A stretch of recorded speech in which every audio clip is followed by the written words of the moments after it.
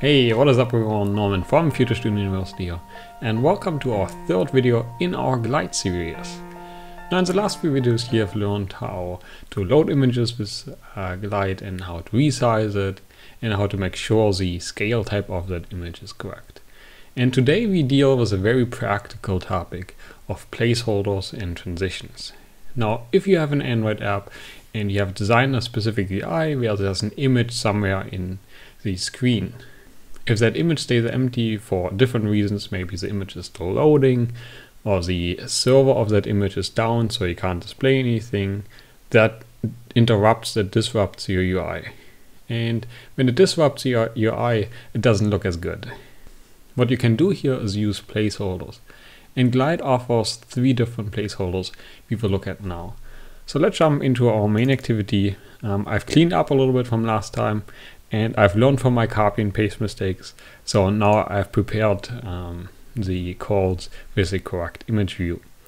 So, so far we have seen the original normal load. So there's no placeholders whatsoever. The first thing I want to show you is the regular placeholder. Now you can add the placeholder by calling placeholder. And what the placeholder does is if you're loading an image from the server and maybe the user is on a slow internet connection or is traveling on a slow mobile connection, it will take time to download that image. And the placeholder is a placeholder until that image is loaded.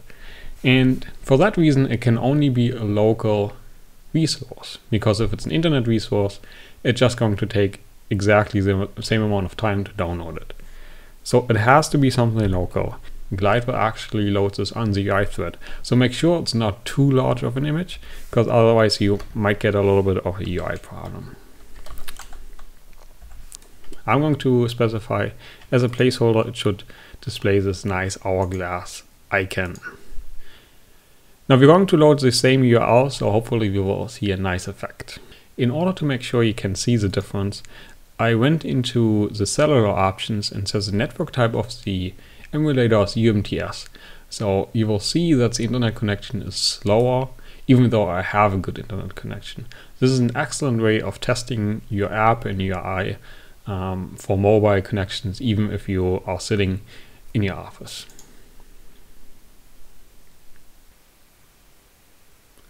Alright, up here you have an image view which is empty, and here we have our placeholder and all of a sudden we got the all the images loaded. So you saw the difference of having an empty view and having a placeholder. The hourglass icon might be not be the best choice, but if you can imagine you have a new UI, maybe um, have something very subtle, maybe your app icon or something there. So the user knows, oh, there is an icon, there's an image coming, but it's not here yet. What you use as a placeholder Depends on what kind of app you have and on the context, but we definitely recommend of using one. Now, there's another placeholder, and that's the error placeholder. Of course, you can just call it with the error method. And here we're going to pass a drawable to, and we're going to use this nice icon, um, which is just a big red cross.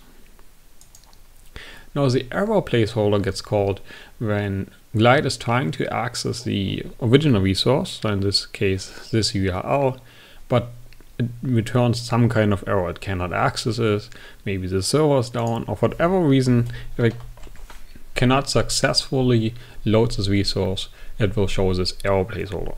So we're going to manipulate the correct URL and just going to add error at the end so if you have this nice URL up here, and then we attach something else at the end, the server should return an error, and then we will see this error placeholder in action. So let's start this one more time. So you saw that um, previously the URL was loaded, but now we've manipulated that URL to something where the server will say, hey, I don't know what this URL is, I will return an error here. And Glide will say, okay, the server returned an error.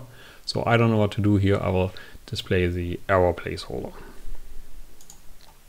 So the placeholder, the real placeholder, is for the waiting time from starting the request to actually getting the resource. If the resource is not available, um, the error placeholder will replace it with something local. There's one more um, placeholder and that is the fallback. The fallback is a different kind of error and that is when you don't have a URL. So if you pass a null here, then the fallback will be displayed. So that can happen if you have maybe a list of contacts and you show their profile icon and then maybe some contacts don't have a profile icon. Then you could use some kind of fallback, some kind of default icon. So in this case, we will just use our logo and because I'm passing null, we should see this logo as our fourth image view.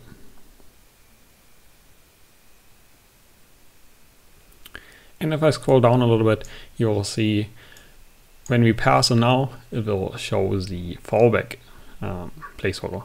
And just so you know, you can actually combine all of these. So you could say, I want to load some kind of resource. Um, until it's loaded, I want to display the hourglass. If it doesn't load it, I want to show this arrow um, icon. And if I pass a null object, I want that it goes to the fallback um, icon. So this is placeholders, a very useful tool to make your UI get to that next level of um, good user experience. Now there's one more cog you can turn to make the image loading process even nicer for the user. That is if you have a placeholder and you switch from that placeholder to the original image you want to display. Right now it just simply replaces it. If you have multiple images in your UI and then maybe five images and then the first one gets replaced and the second one, that looks kind of stutterly and not as smooth as it could be.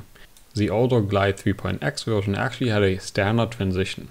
So from the placeholder or from any kind of resource to the second kind of resource, it cross-faded the two images. That made it very smooth change and not as uh, disruptive. Now with Glide 4, you can enable this crossfade manually. And what you have to do is you call transition on um, your Glide Loon interface, and then you can use the drawable transition options and say this crossfade. And you either have the option of just using the standard crossfade, which is 300 milliseconds. Now, in order to observe it a little bit better, I'm going to extend it to 200, um, 2000 milliseconds or 2 seconds. So what we should see is um, both of them are going to load the same image. This one has no placeholder and then changes from white to the images completely directly. The second one here will load the placeholder, so it has that little hourglass, and then it will transition from the hourglass to the original image um, with the crossfade animation of two seconds. Let's remove these two just to uh, observe the effect a little bit nicer and let's look at this. Okay, the loading process has begun and remember we are on a slow fade connection and here you saw that cross um, fade from the placeholder to the original image. Now I don't know why the dimension of um, the placeholder are then applied to the original image. I don't think that is supposed to be. Um, that might be a bug of the just released 4.0 version. Um, we will see if that changes in the upcoming um, bug fixes. I will let you know in the comments. But anyway, that is it for this video.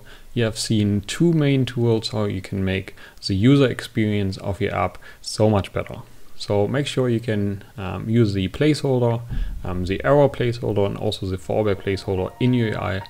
And the transition is a helpful tool to make the app look less clunky. Thank you for watching and if you've learned something, please give this video a like and subscribe for more upcoming Glide videos. Enjoy coding and make it rock!